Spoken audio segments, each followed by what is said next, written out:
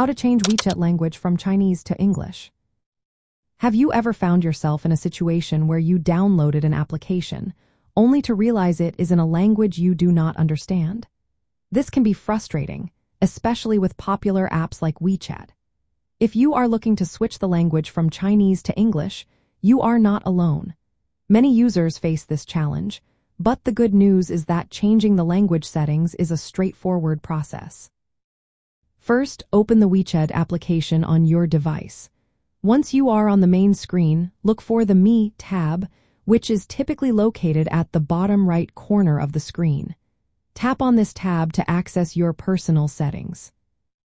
Next, navigate to the Settings menu. You will see several options listed.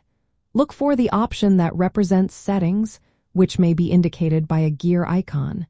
Tap on it to enter the Settings menu. In the Settings menu, you will find various categories. Look for the option that refers to General, which is usually the first option in the list. Once you are in the General settings, you will see an option for Language. This is where you can change the language settings. Tap on the Language option, and you will be presented with a list of available languages. Scroll through the list until you find English.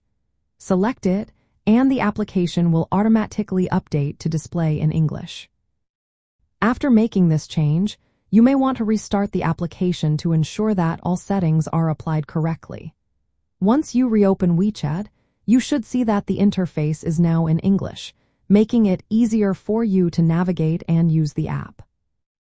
Changing the language in WeChat is a simple task that can significantly improve your experience. Now that you know how to do it, you can enjoy using the app without any language barriers.